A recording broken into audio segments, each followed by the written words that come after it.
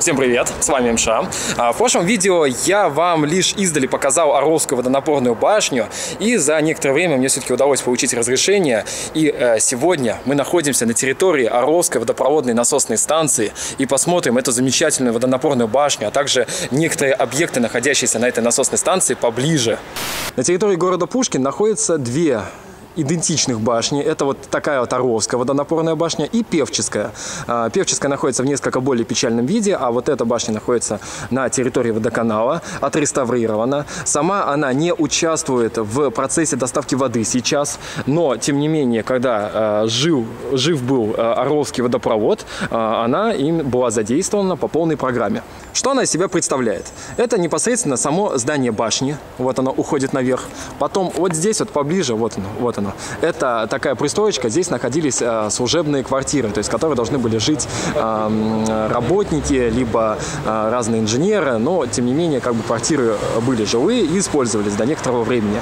И э, два флигеля, вот пожалуйста правый, левый. В том флигеле в левом находится распредустройство, то есть он принадлежит Ленэнерго, и там как бы туда мы не пойдем. А мы с вами побываем вот в этом правом флигеле, ну и соответственно, естественно, поднимемся на самый верх башни и посмотрим, что в ее внутренностях находится.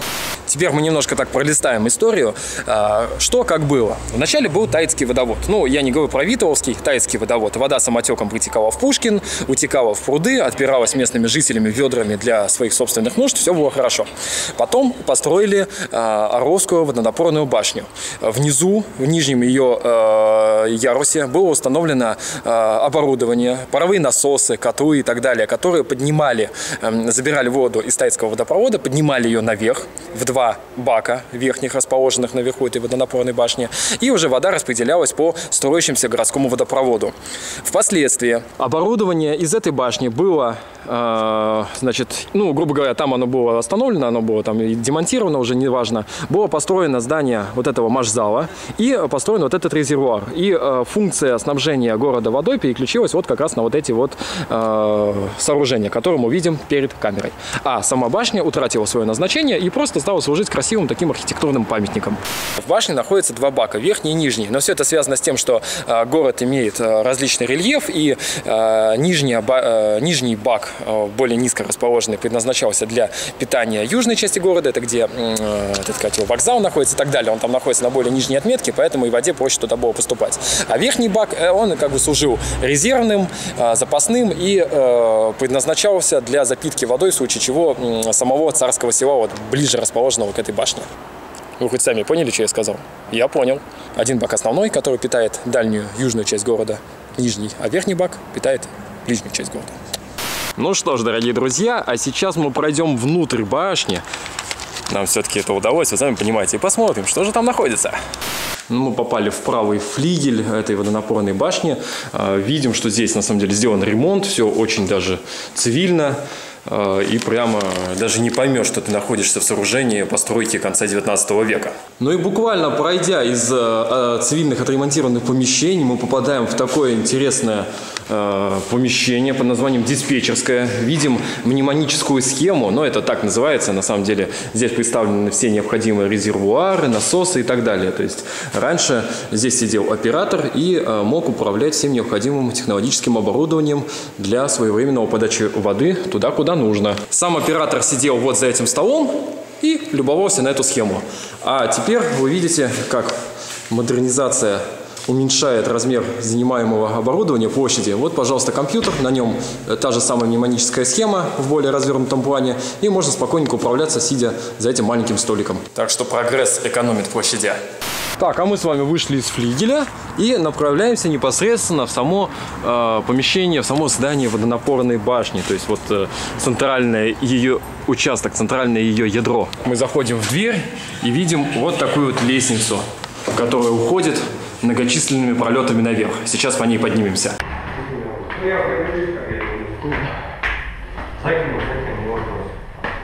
Хорошо,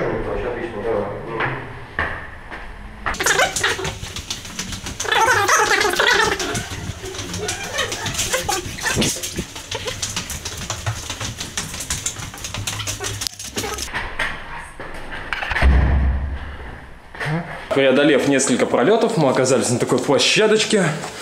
И дверь. Темно. Что мы сейчас на ней увидим? Ага, взгляд сразу упирается в бак клепанный. Но сразу можно понять, что он еще времен Царской империи. Явно нифига не современный. Сейчас обойдем вокруг, посмотрим, насколько он велик. Ну, согласно сведениям, полученным мной, в этой э, водонапорной башне находится два э, бака, два резервуара, емкостью каждый 400 кубометров. Вот мы сейчас видим один, и э, сейчас мы поднимемся чуть выше, там вот ви видно донышко второго. Очень добрая такая арматура, просто душевная. Чугуний. Да, может минут чуть через 20 перезвонить. 20-25 сейчас очень занят.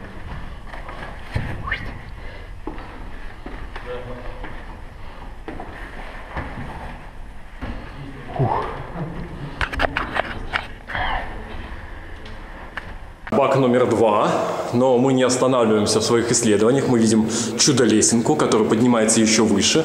Естественно, мы не применем подняться на ней.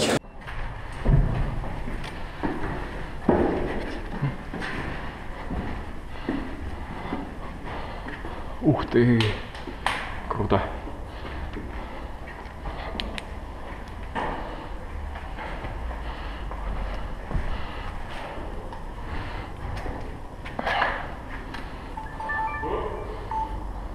Итак, лесенка снизу, оба бака снизу, а мы находимся в таком помещении, уже это чердачное помещение.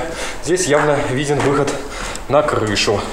Август 2013 года очень сильно удался, это чувствуется, находясь в этом чердачном помещении, потому что это уже, собственно говоря, сама крыша, которая адски нагрелась от солнца, здесь так пекло. Тем не менее, обратим внимание, что сделана относительно новая стяжка, то бишь этой башней занимались, а, немножко подлатали ее, и поэтому она не в таком состоянии, как вот рассказывает раньше, она была раньше вообще в аварийном состоянии, что очень радует. Да, кровля была восстановлена. Полностью кровля была восстановлена. Ух, красота! Здесь тоже, в принципе, нормально, все новые эти перекрытия здесь, но поаккуратнее. Ограда красивая. Итак, ребята, мы находимся на э, самой высокой точке Орловской водонапорной башни. Я даже в этом таком промышленном сталке умудрился найти свою высоту. Э, видим, что... Что мы видим? Прекрасные, замечательные виды замечательного города Пушкин. Вот. Может быть, высота, конечно, и не там 100-200 метров, но тем не менее, высота всегда приятна. А что касаемо самой крыши? Она цела, она восстановлена, покрашена. Ограда, как мне сказали, была а, практически полностью уничтожена. Оставалось примерно 15% от э, того, что было сделано при императоре. И ее восстанавливали уже по образцам. То есть, в основном, это новодел, но сделанный весьма искусно. И, в общем, не поймешь, что это новодел. Ну, а вдаль вон там немножко видно как раз территория водопроводной насосной станции. Что-то меня с панталыка немножко сбило. Интересно, там кто-то пытается улететь из дому, что ли? Почти надутый воздушный шар. Ну, на самом деле, я думаю, что это муляж какой-нибудь. Ну вот, я такой романтичный. Я думаю, что это воздушный шар надувает. А это какой-то там торговый центр, оказывается, находится, мне тут сказали. И все-таки красота! Ну ладно, господа, крыша это хорошо, а мы все-таки углубимся внутрь.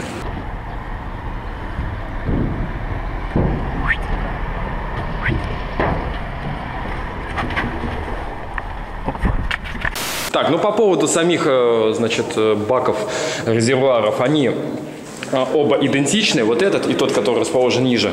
Что очень радует, есть вот такие вот печки. Окошки, кирпичные стены. Очень хорошо. Ну вот как-то так оно выглядит, да? В царское время это кирпич, в советское время это бетон, а сейчас не пойми чего. Ну и как я уже говорил, в самом здании, в самой вот этой водонапорной башне, вот вы видели такую пристроечку, в которой находится несколько квартир, в которых должны были жить работники этой башни. Таким образом, как бы привлекали жителей города, да, для того, чтобы они здесь работали. С жильем были проблемы. И, и вот построили такое вот жилье, на самом деле довольно просторное. Высокие потолки, это не ваши хрущевки. Вот, и не наши, в принципе, тоже. Вот, но, тем не менее, довольно приятно здесь было жить. И самое главное, на работу далеко ходить не надо. Я белой завистью завидую этим людям, потому что мне два, больше, более двух часов добираться до работы, это на самом деле круто, когда ты вышел за дверь и ты уже на работе. Ну, а так все довольно, на самом деле, цивильно. Здесь, видимо, санузел находился, пара раковин. Интересно, почему две? Вроде квартира одна.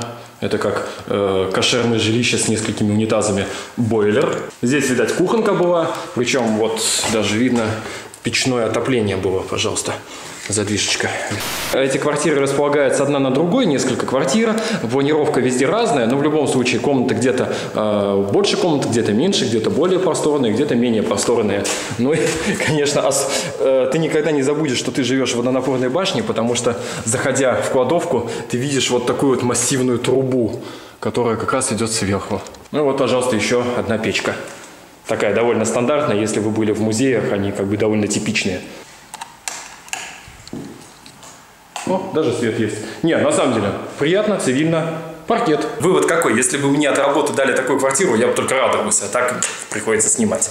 Так, ну возвратимся к этому компьютеру, который мы видели несколькими минутами ранее. Сейчас скажу пару слов про него. Это площадка четвертого подъема, то бишь, э, грубо говоря, четвертая насосная станция в очереди, да, вот от Невы идущая. И э, перед этой Ровской водонапорной э, башней насосной станции располагается еще Пулковская насосная станция. Там находится точно такой же компьютер, и там сидит оператор-диспетчер, который, в принципе, видит все, что здесь происходит, и может удаленно принимать различные решения там, ну, по управлению всеми устройствами, находящимися здесь.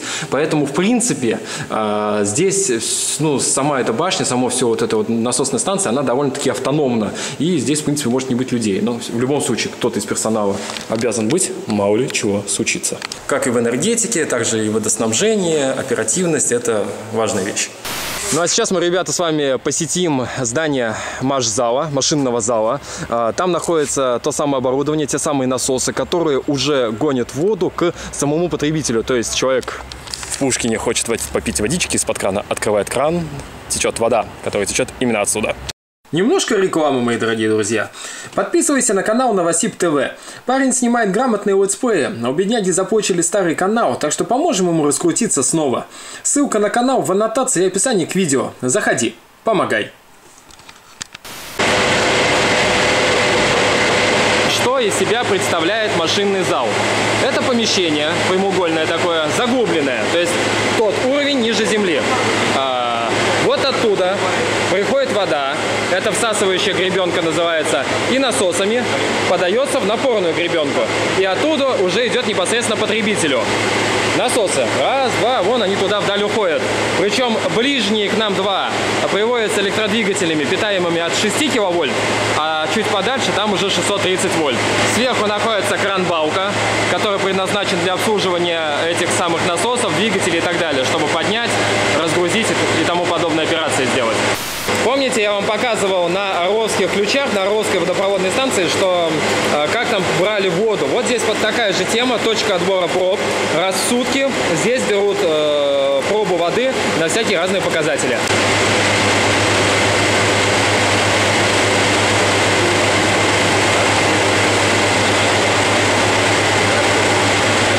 Мы с вами находимся около э, щита управления вот этой всей насосной станции. Рассказывать полностью, на самом деле, конечно, они не имеют смысла. Тут все не так, в принципе, и сложно, но в деталях не так интересно.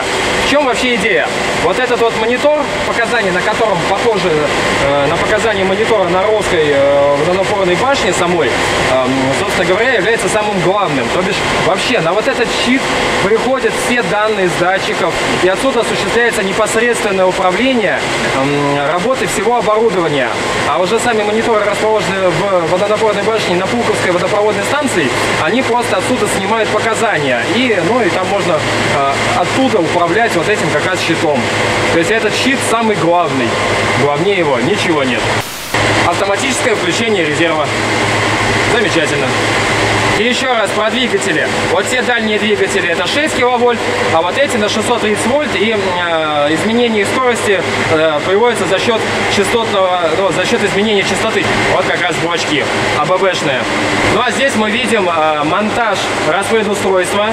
Э, в, не, в недалеком будущем э, будет э, резервирование с помощью дизель-электрической установки. То бишь, если попадет напряжение, которое запитывает вот эти вот насосы, э, будет запущен дизель генераторная установка, и через вот это распредустройство, там вот трансформаторы будут стоять, э, будут запитаны те самые насосы.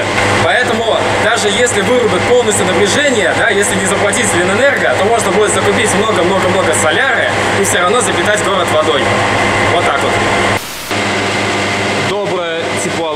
подушечка. Кстати, в этом распредустройстве, так, если коротко, вот это вот вакуумный выключатель, то есть ну, устройство защиты, э, это похоже на трансформатор тока, это для того, чтобы э, к ним подключить счетчики, то есть снимать показания потребленной э, электроэнергии.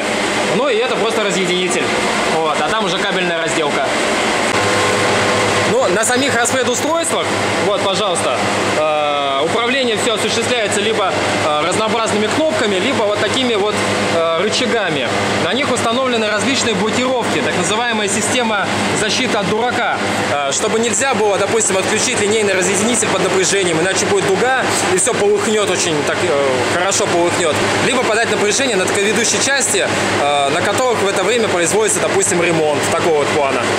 Ну что ж, ребята, мы вкратце прошлись по территории Орловской водопроводной насосной станции, посетили некоторые ее объекты, посетили водопроводную э, водонапорную башню. Сейчас мы э, съездим, посмотрим, что из себя представляет на данный момент идентичная этой башне под названием Певческая. Ну а вот мы находимся рядом с Певческой э, водонапорной башней. Как мы видим, она один в один такая же, как и Орловская водонапорная. Функция она, естественно, выполняла те же, ну и, в общем, ну все, просто копия.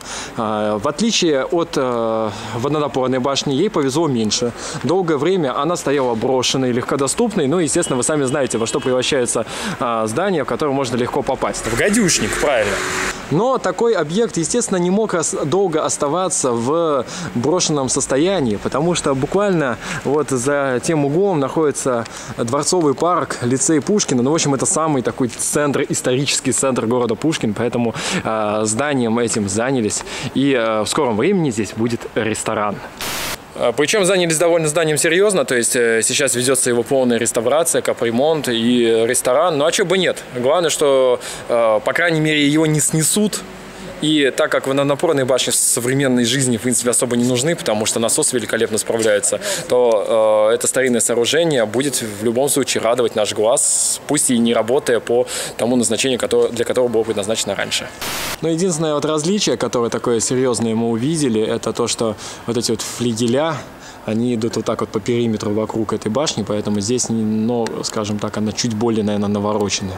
Ну вот, пожалуй, и все. Закончилась моя эпопея по тайскому Орловскому водоводам. Я рассказал вам по максимуму, что хотел, что смог. Я надеюсь, вам было интересно. Вы уяснили для себя что-то новое. Мошка, лети отсюда. И, в общем, не соскучились у меня на канале. Так что лайкаем, подписываемся. Ну и ждем следующих видео. Ну да, для тех, кто забыл, с вами был МШ.